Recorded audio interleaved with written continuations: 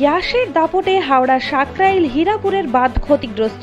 গঙ্গার জল এতটাই বৃদ্ধি পেয়েছে যে বাঁধ উপচে জল বইতে থাকে। তার জেরে বাঁধে ফাটল ধরেছে এবং বাঁধ শুষে জল বয়েছে যে কোনো মুহূর্তে বাঁধ ভেঙে এলাকা প্লাবিত হতে পারে, সেই দিকে নজর রেখেই দ্রুত বাঁধ মেরামতের উদ্যোগ নেন বিধায়ক প্রিয়া পাল।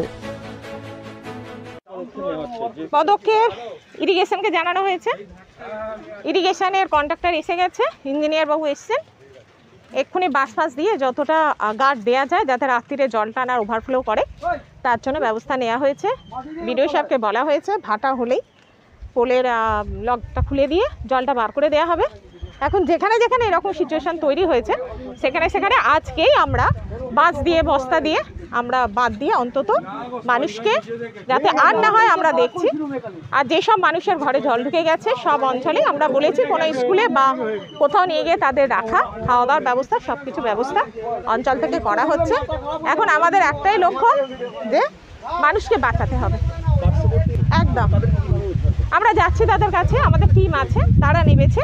যদি সেরকম পরিস্থিতি হয় কোথাও, তাহলে তাদেরকে নিয়ে গিয়ে স্কুলে রাখা। সেসব ব্যবস্থা করা হচ্ছে।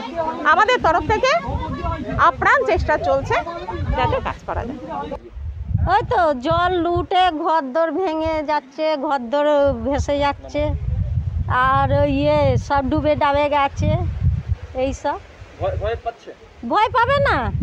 ভয় তো পাবেই। না এই দেখছি।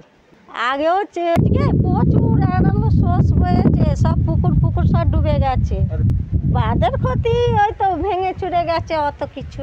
তখন আমরা তখন সাড়ে এগারোটা হবে সাড়ে এগারোটা যখন তখন আমরা বাঁধের উপরে দাঁড়িয়ে আছি। দাঁড়িয়ে থাকার পরে আস্তে আস্তে যত হাওয়ার গতিটা বাড়ছে ততটাই কিন্তু জল একদম ওভারফ্লো হয়ে একদম হ্যাঁ, জল একটু আগে দিলে কোনখানটা গেছে কতটা চলে একদম ক্ষতি হয়েছে মানে পাড়ার ভিতরে তো জল ঢুকে বাড়িও ক্ষতি হয়েছে। পাড়ার ভিতরে না ঢুকলে ব্যাপারটা বুঝতে পারছে না। পুরুষ হুম।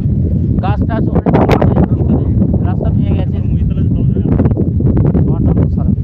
দাদা আপনি এখানে স্থানীয়। কি কি দেখলেন আজকে? দেখুন ওই যে এত যে ঝড় হতে হয়েছে এরকম কোনোদিন দেখা যায়নি। পুরো ওই দিকে বাঁধ এক কোমরতে ঝাঁপিয়েছে। আচ্ছা আমার এই বাড়ির সামনে পুরো ভোগ হয়ে গেছে। ভোগ হয়েছে পুরো বাঁধ একবারে ভেঙে পুরো গঙ্গা সমান হয়ে গেছে। আমরা তো পুরো ঘর পুরো ভাস এই যে ঘর বেরিয়ে জলের মাঝখানে রয়েছে। হ্যাঁ ওই যে বাড়ির সামনে। তো আর মাঝখানে। ওই করে দিয়ে ঘরটা সামান্য উঠে যাবে তাহলেও এক কোমর পানি আছে মানে বাড়ির চার বাড়ির মেঝে তো ভিতরে যে জল সেচে সেচে এখন একটু দূরে মানে বাড়ি ছেড়ে পাওয়া যাবে।